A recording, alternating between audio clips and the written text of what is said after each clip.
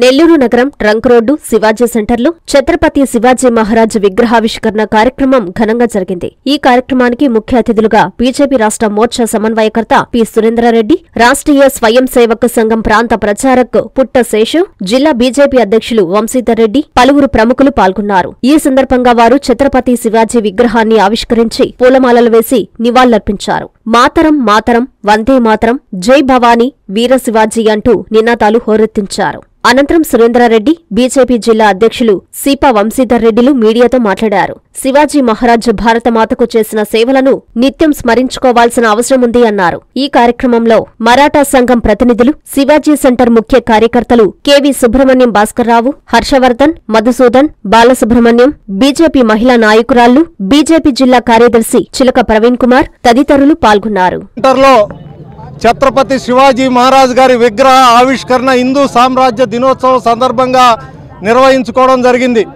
దాదాపుగా పంతొమ్మిది వందల ఎనభై ఐదవ సంవత్సరాన విద్యార్థి పరిషత్ పూర్వ కార్యకర్తలు ఈ శివాజీ సెంటర్ అనే నామకరణం చేసి ట్రంక్ రోడ్లో గణేష్ ఉత్సవాలు ప్రారంభించి నెల్లూరు నగరం అంతా గణేష్ ఉత్సవాలని ఘనంగా నిర్వహించే కార్యక్రమాన్ని ప్రారంభించిన ఈ శివాజీ సెంటర్ మిత్రమండలి ఆధ్వర్యంలో ఏబీఈపీ పూర్వ కార్యకర్తల ఆధ్వర్యంలో ఈరోజు హిందూ సామ్రాజ్య దినోత్సవం రోజు ఈ శివాజీ విగ్రహ ఆవిష్కరణ నిర్వహించడం జరిగింది. ఈ సందర్భంగా శివాజీ మహారాజ్ గారికి హృదయపూర్వకంగా వారికి నివాళులు అర్పిస్తూ ఏదైతే శివాజీ మహారాజ్ గారి కన్న కళల్ని నెరవేర్చడం కోసం మనమంతా ప్రత్యేకించి యువకులంతా కూడా ఆలోచించి సంఘటితంగా దేశానికి దేశభక్తికి పునరంకితం కావాలని చెప్పి ఈ సందర్భంగా నేను కోరుకుంటున్నా. మనందరం కూడా ఈ దేశం కోసం ఈ సమాజం కోసం ఈ హైందవత్వాన్ని దే నార నరాన జీర్ణించుకుని దాన్ని బతికించడం కోసం పాటుపడ్డ మహనీయుల కోవకి చెందిన ఛత్రపతి శివాజీ రాణా ప్రతాప్ సింగ్ ఝాన్సీ లక్ష్మీబాయి అల్లూరు సీతారామరాజు రాజ్గురు సుహదేవ్ అలాంటి అనేక మంది జీవితాలని ఆదర్శంగా తీసుకొని వాళ్ళని నాయకులుగా భావించి వాళ్ళ అడుగుజాడల్లో వాళ్ళ ఆశయాలకు అనుగుణంగా యువత జీవించాలనే ఒక సదుద్దేశంతో ఈరోజు ఈ శివా సెంటర్లో ఈ శివాజీ విగ్రహ ఆవిష్కరణ మనం నిర్వహించుకోవడం జరిగింది. ఏదైతే భారతదేశం ఇప్పటికే భారతదేశం అంతా కూడా సంఘటితంగా నరేంద్ర మోడీ గారి నాయకత్వంలో ఈరోజు ఏకోన్ముఖం కా అవుతా ఉంది. ప్రత్యేకించి ఈ దేశంలో కుహనా సెక్యులరిస్టులు దాంతోపాటుగా అర్బన్ నక్కల నక్సలిజం ఏదైతే ఉందో ఏర్పాటువాదం ఏదైతే ఉందో దీని నుంచి తిరిగి త్వరగా మనం మేల్కొని వాళ్ళందరికి కూడా వేగంగా బుద్ధి చెప్పాల్సిన అవసరం ఉందని చెప్పి ఈ సందర్భంగా నేను తెలియజేస్తూ దేశంలో హిందూ బంధువులందరూ కూడా మరింత జాగృతమైతేనే భారతదేశం అభ్యున్నతి పూర్వ వైభవ స్థితి దేశానికి వస్తుందని చెప్పి ఈ సందర్భంగా నేను కోరుకుంటూ ఆ శివాజీ మహాదేవునికి నివాళులు అర్పిస్తూ ఉన్నాను. ఈరోజు ఏర్పాటు చేసుకోవడం చాలా ఆనందంగా ఉంది.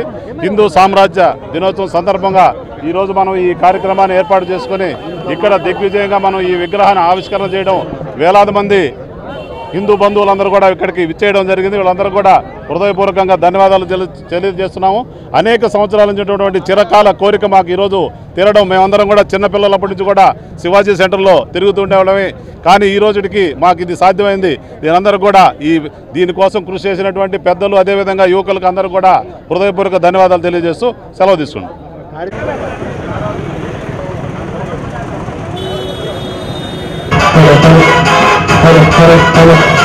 hello, hello.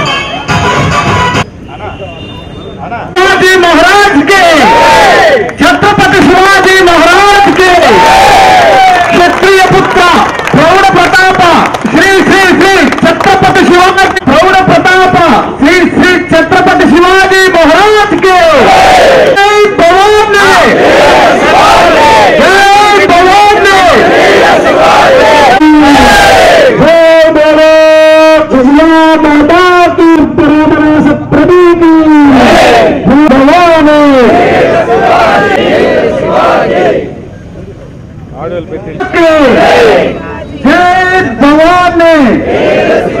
மாதரம். மாதரம் మన కణం కణం జై జై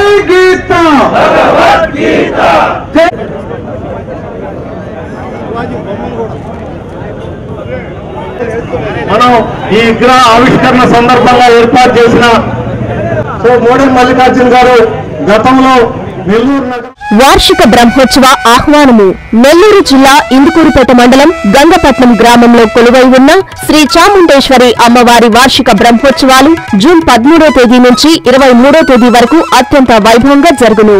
జూన్ పదమూడో తేదీ గురువారం అంకురార్పణ ధ్వజారోహణం. ఇరవై ఒకటో తేదీ శుక్రవారం కళ్యాణోత్సవం. కళ్యాణోత్సవం సందర్భంగా నెల్లూరు పార్లమెంటు సభ్యులు శ్రీ వేమిరెడ్డి ప్రభాకర్ రెడ్డి గారు కోవూరు శాసనసభ్యురాలు శ్రీ వేమిరెడ్డి ప్రశాంత్ రెడ్డి గారు స్వామి అమ్మవార్లకు పట్టు వస్త్రాలు సమర్పిస్తారు. ఇరవై రెండో తేదీ శనివారం వసంతోత్సవం గంగోత్సవం. ఇరవై మూడో తేదీ ఆదివారం రథోత్సవం. జూన్ ఇరవై నాలుగో తేదీ సోమవారం తెప్పోత్సవం అత్యంత వైభవంగా జరుగును. ప్రతిరోజు సాయంత్రం ప్రత్యేక సాంస్కృతిక కార్యక్రమాలు కలవు. కావున పై కార్యక్రమాల్లో భక్తులు విచ్చేసి స్వామి అమ్మవార్లను దర్శించి వారి కృపా కటాక్షాలకు పాత్రులు కాగలరని కోరుతూ బండి శాంతయ్య ఆలయ కార్యనిర్వహణాధికారి.